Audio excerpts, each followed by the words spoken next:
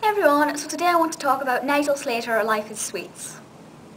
Now when I saw this advertised on uh, Radio Times, I got really quite excited because I love Nigel Slater and I love programs that look at history and specifically the history of Britain, which this absolutely does. And I just want to say one thing. When this was on BBC, Toast was on straight after it, which is the film about Nigel Slater's life, and Helena Bonham Carter is in that, so go and watch it if you haven't. Basically, this programme does, with Nigel Slater, look at the history of the sweet and chocolate in Britain. And it takes us back to when the boiled sweet first came about, and you know, its initial medicinal purposes, and how it wasn't just there for a sweet and how sweets themselves have transformed over the years, how sweet shops have changed, and the way we look at sweets, and it's absolutely lovely. It's a history lesson on sweets. What more could you ask for? There are various different things which give us this information. It's not just this was a sweet, this is how it's changed. We get to see old adverts for sweets, and I, I love advertisings. I think it's quite, it can be quite entertaining, especially some of the old adverts when they're not necessarily always politically correct.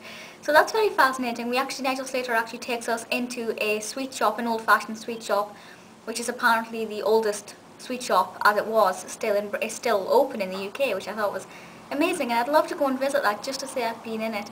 I love old-fashioned sweet shops. I just think they're they're just mini time capsules. As most of you will know, I'm a history nut, and I, I prefer the past to the present, to be honest. Uh, which is absolutely beautiful. Uh, he talks to Nigella Lawson as well, which is nice to bring in somebody else. Very interesting that they've done that, that they've brought in another chef. Um, Nigella Lawson is obviously fantastic. Uh, the rapport between the two of those is brilliant and she gives quite an, an, interesting look as well and what specifically her input was to add to the emotional aspect of this because they look at not just how the sweets have changed but the memories that come with them and I think you'll all agree with me that there are sweets from your childhood or even present day that kind of evoke certain emotions uh, and memories.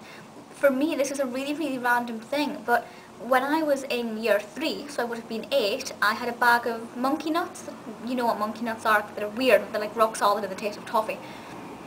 And I remember getting a bag of those in a little paper bag and I, I also bought my, my French dictionary and a beginner's French book because we were learning French at school. I spent six years thereafter learning German, I can't remember any of the French.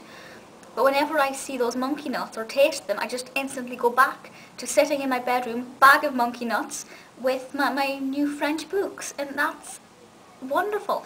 Sweets do for me have a lot of memories and, that, and that's one of the main focuses of this, not just how the sweets have changed, but the role they play. And also it looks at the benefits of sweets. It does obviously point out the flaws, the fact that they're full of sugar and they'll wreck your teeth. It's not just saying sweets are amazing, let's go and get ourselves high on sugar.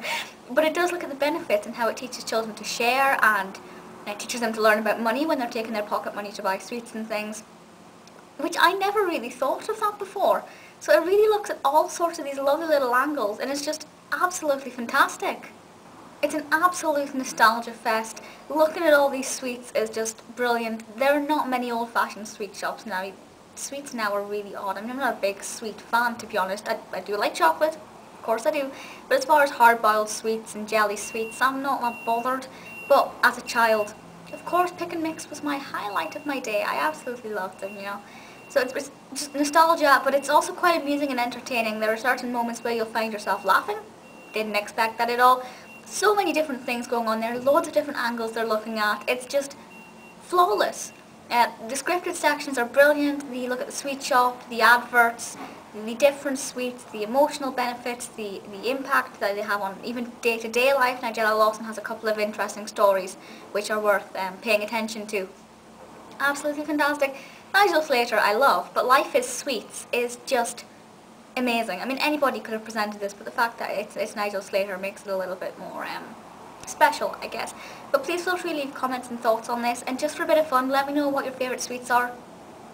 Um, your favourite childhood sweets or your favourite sweets now. Obviously in the UK we're getting this massive infiltration of American sweets, which is awesome, but it does mean that children's memories of sweets are going to be slightly different. Like I have younger siblings, my brother and sister are 10 and 7.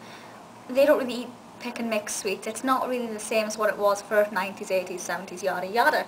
Um, so it's a shame that sweets don't really have the same impact or benefits, I guess, as, you know, it's like, oh here, I have a Hershey's bar of chocolate. It's not going to teach anybody to share because you're going to keep that thing for yourself, aren't you? Whereas if you have a bag of um, licorice torpedoes, you're going to share them out. I uh, don't know why I said licorice torpedoes. I think they're my granddad's favourite. Not sure. But let me know your thoughts and I'll see you all next time. Bye.